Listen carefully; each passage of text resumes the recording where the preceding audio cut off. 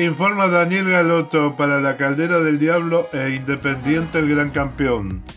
Todos nos vimos asombrados el pasado partido cuando Santino, detrás de un alambrado, lloraba antes de comenzar el mismo al ver salir a los Diablos Rojos de Avellaneda al terreno del Libertadores de América. Allí quedó su imagen grabada para siempre en la televisión y en las fotografías.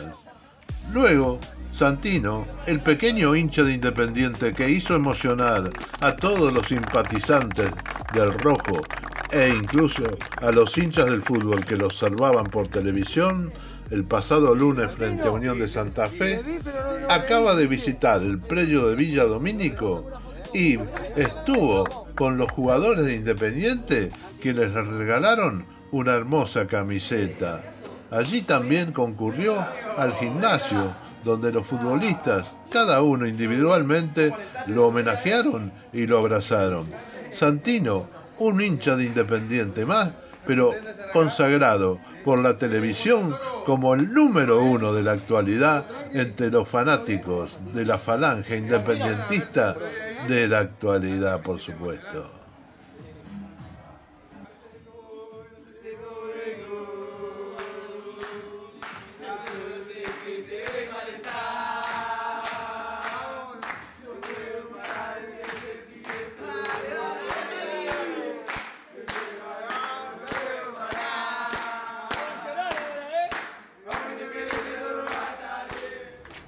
Cuna hasta el cajón lo sigo.